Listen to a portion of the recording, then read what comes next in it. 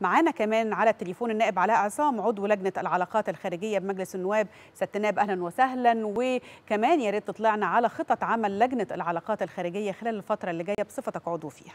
مساء الخير على حضرتك. وشكرا على الاتصال. الحقيقة إحنا طبعا حضرتك عارفة لجنة العلاقات الخارجية يعني عليها عبء كبير في توضيح الصورة في الداخل للخارج. فالحقيقة إحنا شغالين على قدم وساق وضع خطة جديدة. نحن برلمان جديد في أول انعقاد. شغالين الفترة المقبلة إن شاء الله على عدة محاور.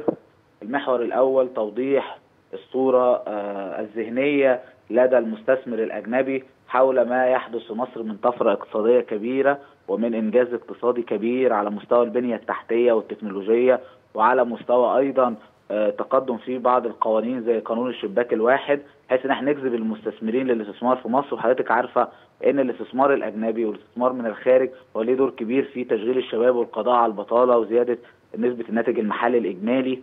نمرة اثنين شغالين على مواجهة جماعة الإخوان الإرهابية في الخارج. حضرتك عارفة إن كتير منهم عايش في أمريكا وفي أوروبا وفي لندن وبيحاولوا كل يوم إن هم يصدروا صورة مشبوهة ومشوهة وغير حقيقية عن مصر. وبيقدموا تقارير مزيفة بصور مزيفة لأعضاء الكونجرس وأعضاء مجلس الشيوخ في أمريكا والبرلمانيين أيضا في إنجلترا.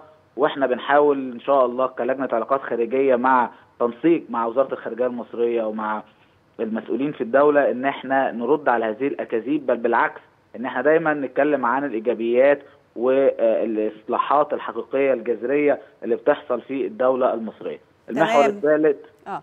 عجالة يعني عشان وقت حضرتك المحور الثالث إحنا النهارده بنشهد وجود كبير للشباب والمرأة داخل لجنة العلاقات الخارجية. عندنا قيادتين أمينة سر أميرة صبر وعندنا الوكيلة مرأة واثنين رئيس لجنة ووكيل وعندنا عدد كبير من الشباب. فاحنا هنحاول نصيغ هذه الأفكار وهذه الرؤى بطعم شبابي وتنوع حقيقي إيجابي يظهر في حوارنا ولقاءاتنا مع الدبلوماسيين الأجانب. آه. هم أيضا بيهتموا بالمشهد ده. تمام. أنا بشكرك شكرا جزيلا. إن شاء الله يبقى لنا لقاءات بقى أخرى. شكرا ليك سياده النائب علاء عصام.